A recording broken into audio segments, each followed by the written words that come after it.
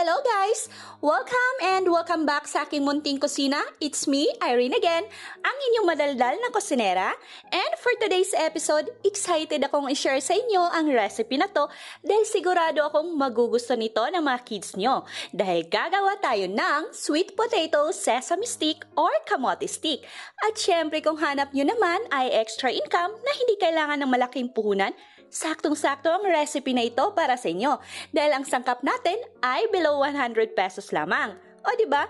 Napaka-affordable lang. Retin ingredients natin at costing ay nasa description box. So tara, let's get started. Siyempre, gagamit tayo dito ng kamote. Ito ay isang kilong kamote, nahugasan ko na ito. Laga lang natin ito hanggang sa malambot na. Ang gamit ko ditong kamote ay yung kulay dilaw. Pwede din naman na kulay ube yung kamote na gagamitin nyo. Yun nga lang, kulay ube din ang kalalabasan ng inyong kamote stick, which is okay lang din naman.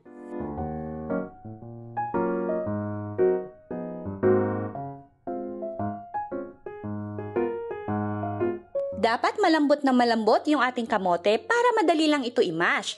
Kung kagaya neto na lumalaban pa sa ating tinidor, pakuluan nyo pa ito ng ilang minutes. So, eto na yung ating nilagang kamote. Mash lang natin ito using potato masher. Well, kahit naman walang potato masher, ay pwede na kahit tinidoy lang.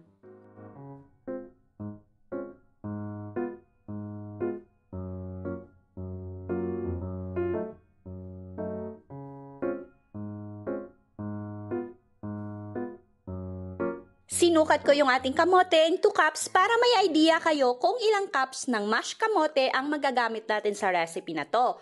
So, bali 3 and half cups ng mashed kamote. In a bowl ay magka-crack lang tayo ng 1 medium-sized egg sa ating mashed kamote.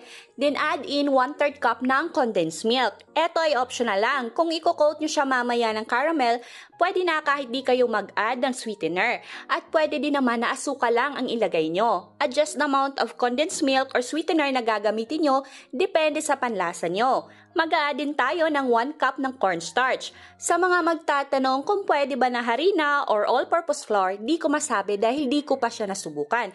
So haluin lang natin ito, mas maganda kung malinis na mga kamay ang gagamitin natin sa paghalo para mas ma-incorporate natin mabuti yung mga ingredients. So ganito yung texture na dapat natin ma-achieve. Smooth na at hindi na buhaghag. Pwede na ito.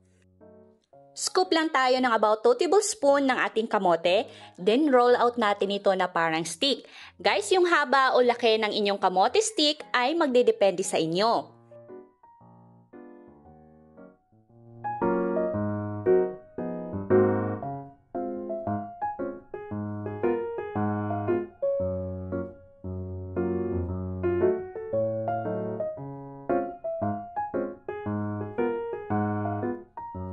Yung ating stick ay hinati ko sa dalawa. So, bali tig 1 tablespoon ng ating kamote yung bawat stick na gawa ko.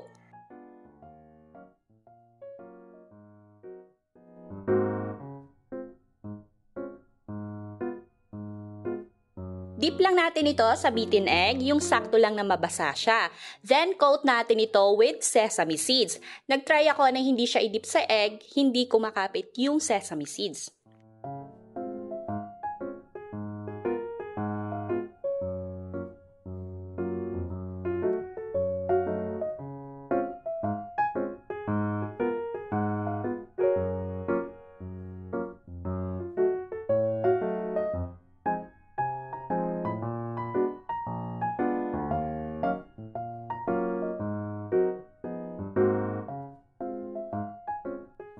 Now, proceed naman tayo sa frying. Maginit lang tayo ng mantika sa ating kawali.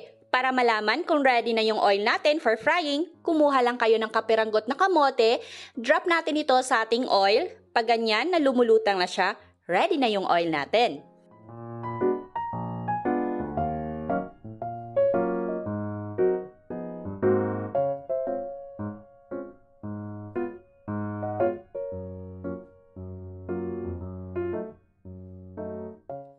Constantly rotate our kamote stick para even yung pagka-golden brown niya.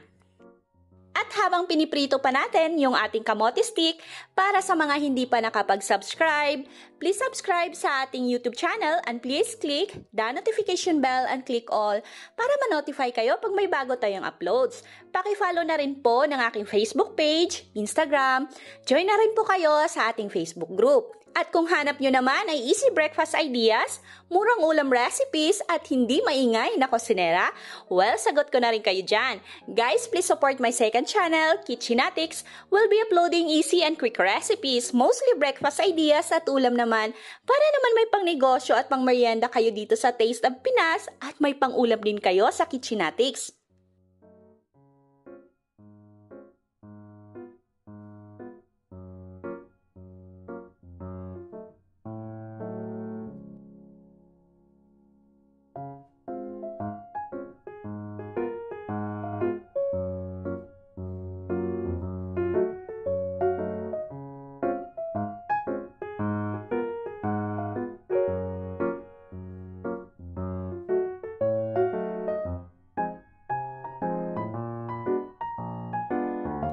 Actually, ready na ito. Pwede nyo na i-serve or ibenta.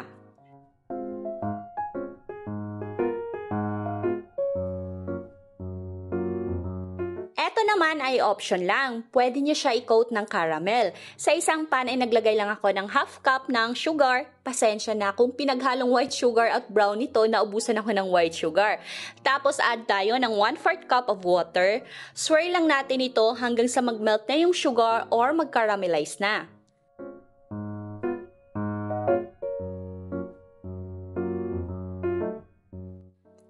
Pag ganito na siya, mag-add na tayo ng butter para lang may konting saltiness yung ating caramel. Kung wala kayo neto sa bahay, ay okay lang kahit di na kayo maglagay.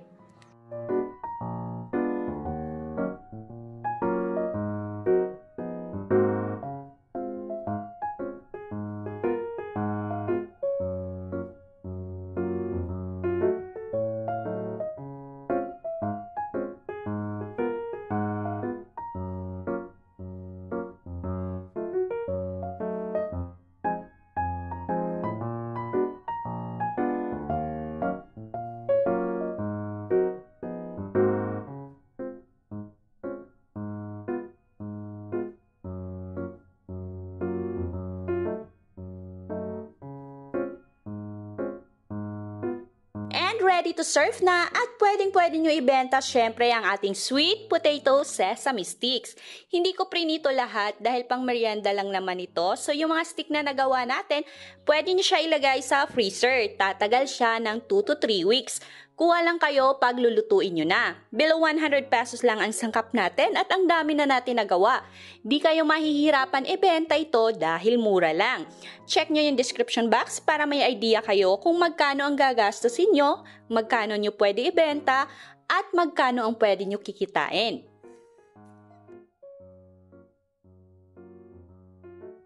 Disclaimer lang guys ha, yung presyo ng mga ingredients na ilalagay ko sa description box ay pwedeng magkakaiba depende kung gaano karami ang binili at kung saan binili. Sa retail price or bintahan ng ating kamote stick ay pwede nyo dagdagan o bawasan depende kung magkano ang ginastos nyo. Sana ay nakatulong tong video na to at nabigyan kayo ng idea paano kumita gamit lang ang maliit na puhunan.